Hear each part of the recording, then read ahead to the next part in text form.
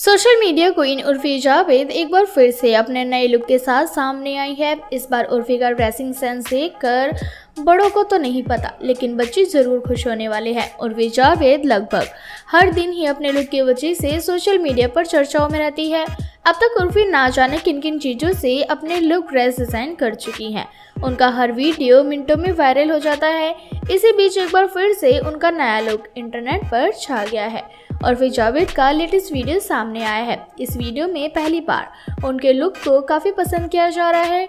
उर्फी ने इस बार अपने लिए जिस चीज़ की ड्रेस बनाई है, यकीनन उसे बच्चे काफ़ी पसंद करने वाले हैं। उर्फी ने इस बार छोटे छोटे क्यूट टेडी बियर से अपने लिए जैकेट तैयार की है। जो वाकई में काफ़ी डिफरेंट लुक दे रहा है। इस जैकेट के साथ उर्फी ने एक अंदर येलो कलर की बॉडीकॉन ड्रेस पहनी हुई है। वहीं बालों को बन बनाकर उन्होंने स्टाइल किया है। इस वीडियो को काफ़ी पसंद किया जा रहा है। इस पर कमेंट कर यूज़र्स उनकी तारीफ़ें भी कर रहे हैं। उर्फी ने हाल ही में ऐसी घोषणा की थी, जिसे सुनकर हर कोई हैरान रह गया था।